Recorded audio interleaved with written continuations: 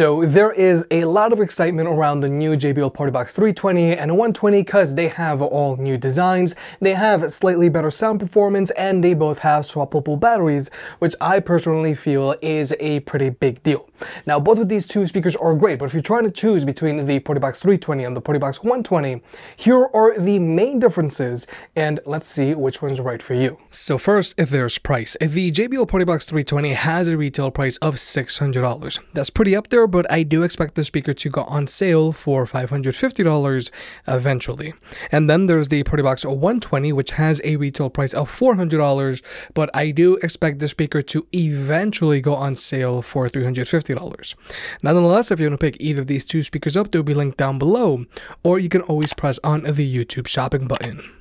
And if you want to further support the channel, pick up a big head approved hat, link down below. We've got trucker hats and snapbacks. By buying a hat, you help the unbiased and unsponsored videos coming, and it also helps us cover more products and produce more versus videos. Thank you to everyone who's already bought a hat, and look out for more designs coming soon. And also, please remember to hit that like button, and let's get subscribed. Now first, we have to talk about the design of these speakers. Now in general, these two speakers look very similar to one another. First off, both of these speakers have the same light features. They both have those large conjoined light rings on the front, they both have RGB light bars on the top and bottom, and they both have built-in stars. And through JBL's app, you can choose from a few different lighting modes and you can customize these light features as well. Overall, the light features on both of these speakers are very dynamic and they are the same on both of these speakers. Another thing that's identical on both of these speakers are the ports panels on the back. Another thing that's identical on these speakers are the port panels on the back. They have the exact same setup and both of these ports panels have a built-in LED, which I feel is a nice touch. And both of these speakers have top hat mounts on the bottom, so you can place them on a speaker stand mount if you want. And the durability of these speakers speakers is the same as well. Both of these speakers have a mostly plastic body which can get scratched up very easily, and they both have thin metal grills on the front, which can get dented easily as well. But here are the design differences between these two speakers. First off, the control panel on these two speakers are slightly different. Both speakers have large dials for your volume and light feature, and they both have DJ buttons. But the 320 has control knobs on top, so they can easily adjust the sound of your microphone, whereas with the 120, you have to use JBL's app to adjust the sound of your microphone. But instead of knobs on the 120, the 120 has a built-in center-mounted carrying handle and this carries over to the portability of these speakers. The 120 is noticeably smaller and lighter than the 320 with a height of 22 and a half inches and weighs in at 24 and a half pounds, whereas the 320 has a height of 26 and a half inches and weighs in at 36 and a half pounds. So obviously, the 120 is just easier to take on the go with you because it's smaller and lighter. However, the 320 is also relatively easy enough to take on the go with you, and it has a built-in wheels and a telescopic handle. And rolling the speaker around is very easy. Plus, since the wheels on the speaker have been upgraded to be bigger and wider, the speaker does a really good job of dealing with asphalt and other uneven surfaces. So overall, the main design difference here is going to be their size, and the 120 is more convenient to take on the go with you because it's smaller and lighter. However, transporting the 320 also isn't as big of a hassle thanks to the built-in wheels. But then there's the battery life on these speakers. Now, the 120 has an advertised battery life of 12 hours, but this advertised battery life of 12 hours is with this speaker playing at 25% volume, which is a decent listening volume for when you're alone, with the light feature turned off and with the bass boost feature turned off as well. Real-world use with the speaker playing at 65% volume, which I feel is decent for when you're with friends friends, with the light feature turned on and with the bass boost feature turned on as well, is good for around 6 to 7 hours of playback time, which is good, but it is a little less stamina than the 110. But then there's the PartyBox 320, which has an advertised battery life of 18 hours, just like the 310. However, this advertised battery life of 18 hours is with this speaker playing at 50% volume, which is already a decent listening volume, with the light feature turned off, but with the bass boost feature turned off as well. But real-world use with the 320 playing at 70% volume, which I feel is a really good volume to use when you're with friends. With the light feature turned on and with the bass boost feature set to deep, I found that the 320 is good for around 7 hours of playback time, which is good. But again, the 320 has slightly less stamina than its predecessor. But the important thing here is you are going to get a longer lasting battery than on the 120, and it's going to be able to be used at consistently higher volume volumes. However, a major upgrade on both of these speakers is that they both have swappable batteries, and these swappable batteries are great for two reasons. First off, you can get multiple batteries and keep the party going if you're in an area where you can't easily plug in. Or if you get to a point where your battery degrades, you can just get a new battery instead of having to replace the whole speaker. But also keep in mind that the battery that comes with the 320 is larger than the battery that comes with the 120. And in order to charge these batteries up, they just get charged up when they're inside of their speakers and plugged in. But also with both of these speakers, they can be used while they're plugged in and with the battery removed. So yes, these two speakers have slightly less stamina than their predecessors, but I think having swappable batteries is very important. But when it comes to overall performance, the 320 does have better real-world battery life than the 120 because it lasts longer and you can use it at a consistently louder volume because it does come with a significantly larger battery. Now when it comes to ports and connectivity, things are identical. Both of these speakers can be connected to two devices at the same time, so you and a friend can both be DJ. Latency is not an issue for either of these two speakers, so you can use them to watch videos with on your phone.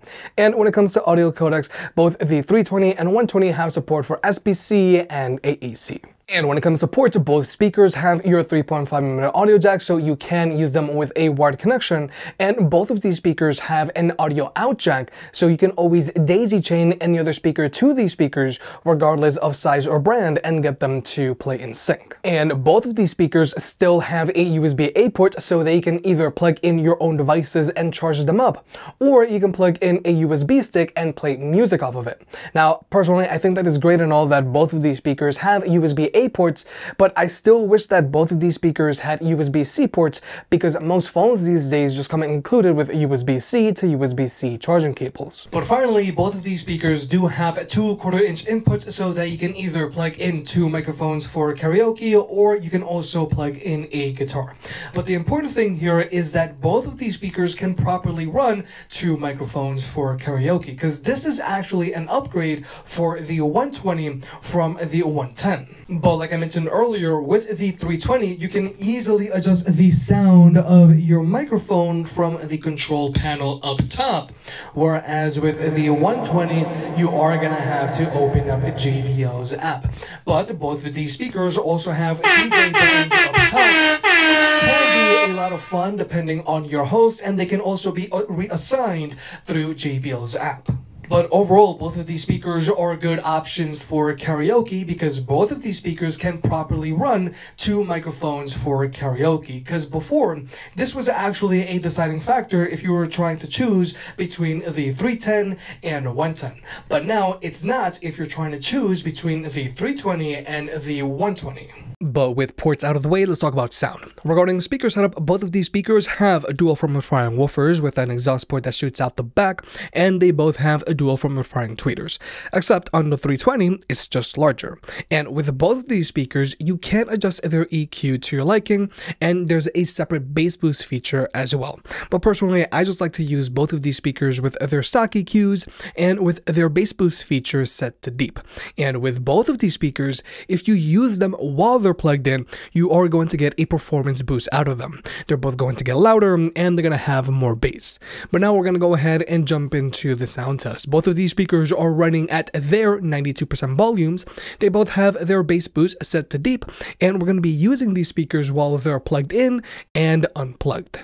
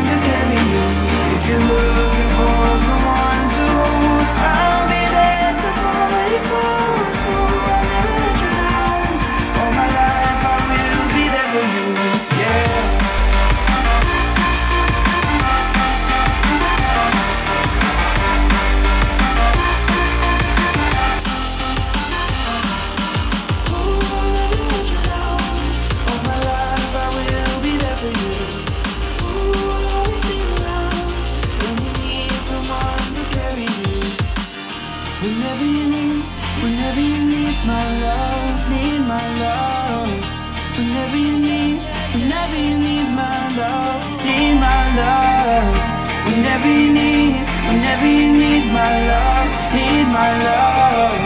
Whenever you need, whenever you need my love,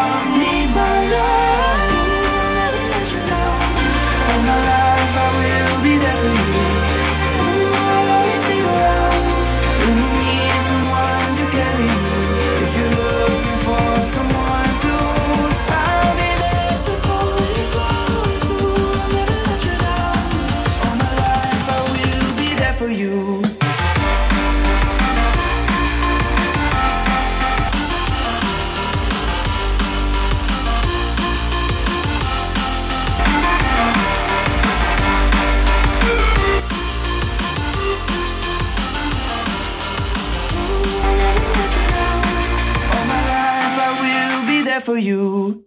So first, when it comes to sound quality, since these speakers are from the same brand and family, they sound very similar to one another, which is to be expected.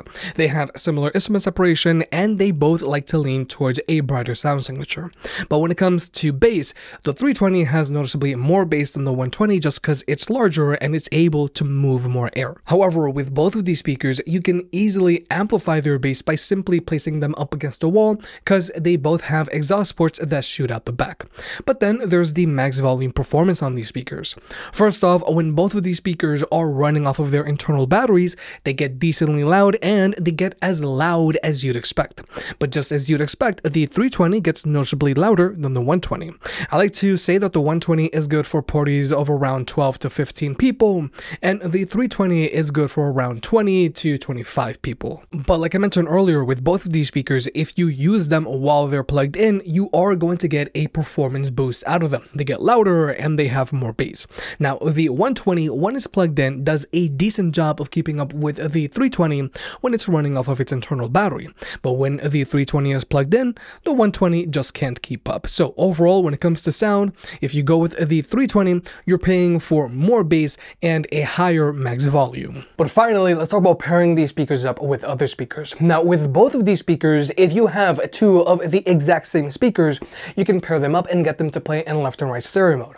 Or since both the 320 and 120 are Auracast speakers, you can pair them up to other Auracast speakers and get them to play in sync. However, with either the 320 or the 120, you cannot wirelessly connect either of these two speakers to any of JBL's older party box speakers, like either an Encore, a 110, 310, or 710, and you can't connect them to any of JBL's smaller Party Boost speakers. Now, JBL's app does mention that you can connect Party Boost speakers to Auracast speakers, but it seems like you can only connect Auracast speakers like the Clip 5, Go 4, or Xtreme 4.